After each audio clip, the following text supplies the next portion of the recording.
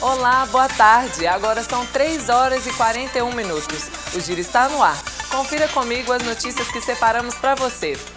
A vacinação contra HPV começa nesta terça-feira. Neste ano, a campanha será ampliada para meninas de 9 a 11 anos, além de mulheres de 14 a 26 anos portadoras de HIV e AIDS.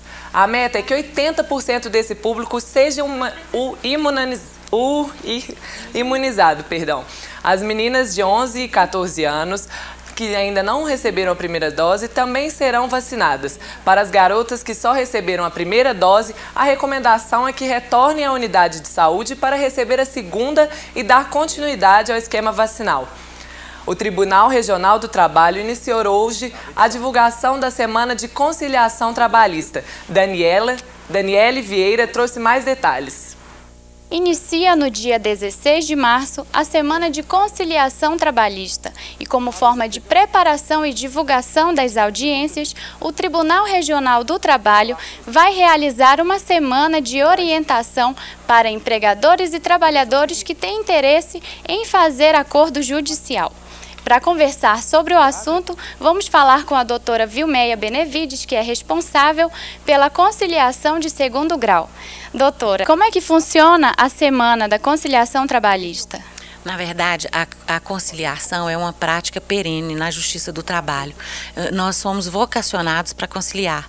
O que os tribunais têm feito agora para fomentar a cultura da conciliação é fazer essas semanas de conciliação e que, que a gente faz uma divulgação ampla é, na imprensa e, e, e, comunica aos advogados em audiências para poder é, é, dar a informação que naquele momento, naquele período específico, o tribunal vai disponibilizar os meios para quem tenha interesse, faça a conciliação. Essas semanas da conciliação, com essa divulgação, tem gerado um interesse muito grande nos jurisdicionados. Então, o número de inscrição aumenta a cada ano. Teremos três postos de divulgação no metrô, na estação central, em Contagem e em Betim. Mas eu ressalto, porque isso é importante, que a parte pode fazer ou direcionando a vara ou pelo link do tribunal, que eu, eu acho que é o mais fácil.